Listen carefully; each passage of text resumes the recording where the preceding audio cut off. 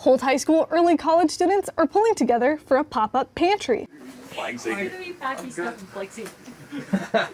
It has been taken over by our 11th grade early college students, and they work hard on getting food drives and bringing in um, holiday meals and packaging those up. Autumn Rockefeller is a student who worked in the food pantry. Miss Meredith came to us with the opportunity to get involved with this pantry for community service hours outside of our normal class time.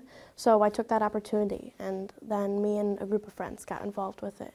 In Michigan, just over 1 million people struggle with food scarcity, and nearly 300,000 of those are children. We're in the process of getting a refrigerator and freezer so that we can also provide some perishable items for family.